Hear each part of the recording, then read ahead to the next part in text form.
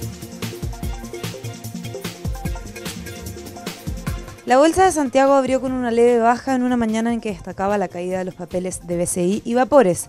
Las principales bolsas europeas abrieron con una leve alza, atentas a la evolución de la situación en Estados Unidos tras la victoria de Donald Trump. El dólar abrió en verde debido al fortalecimiento de la divisa a nivel global y a pesar de la fuerte subida del cobre. Los precios del metal rojo se encaminaban hacia su cierre semanal más fuerte desde 1979, después de que la sorprendente victoria de Donald Trump en la elección presidencial de Estados Unidos, junto con una mejora de la demanda en China desencadenará un frenético avance. Los precios del petróleo caían porque el mercado se volvió a centrar en un exceso de suministros que no espera disminuya a menos que la OPEP y otros exportadores reduzcan de forma significativa su producción.